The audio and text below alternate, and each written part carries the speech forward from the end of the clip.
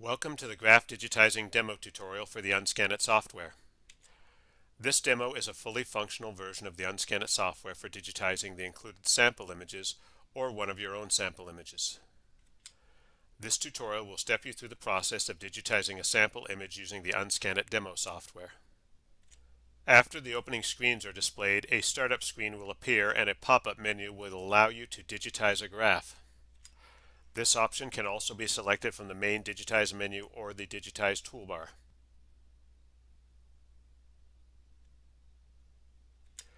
The demo program includes five sample graph images which are described by clicking the question mark button associated with each sample image.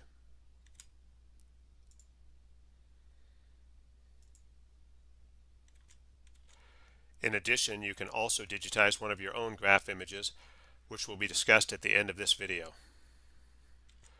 We recommend first digitizing one of the included sample images to demonstrate the use of the software. For this tutorial, we will digitize the standard graph sample image. There are multiple graph digitizing modes available including standard lines, intersecting lines, dash dotted lines, and a manual digitizing mode. These modes are explained further by clicking the question mark button associated with each mode.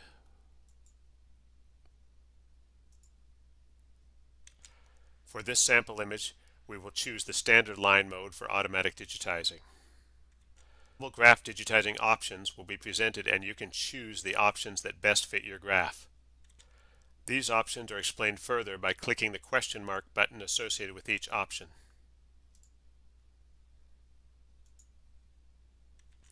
For this sample image, the default options are acceptable. The next screen is where you will place the setup icons on the image. General instructions will be presented at the bottom of the screen. Simply drag and drop the setup icons to the desired locations. A zoom window in the upper right corner of the screen can be used for precise location of the setup icons. If you are unsure of where to locate the setup icons for this sample image, you can select the Show Me option in the Demo Graph tutorial window. The color icon identifies the line color you want to digitize.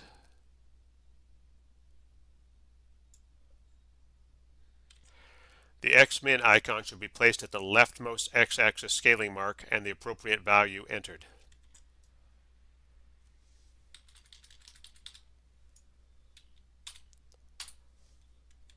A similar process should be used for the Xmax, Ymin, and Y-Max setup icons.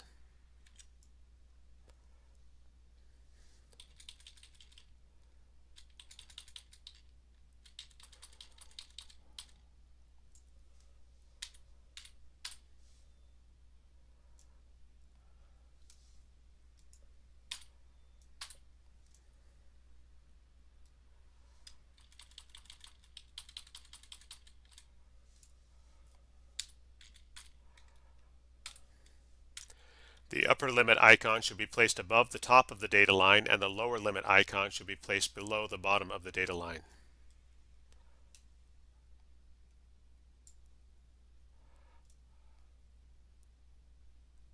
The flat spot icon should be placed just above a relatively flat portion of the data line in order to measure the line thickness. The begin icon should be placed at the leftmost part of the data line and the end icon should be placed at the rightmost part of the data line.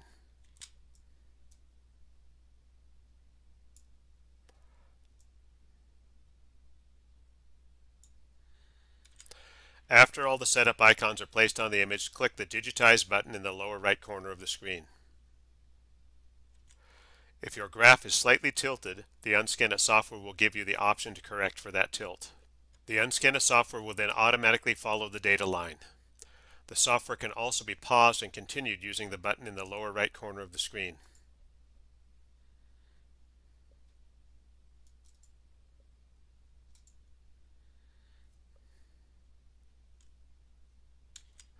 After the data points are digitized, you can graph the data using the UN-SCAN-IT graphing features discussed in another video. or you can return to the digitizing screen. The digitized data points can then be saved to an XY data file or copied to the clipboard.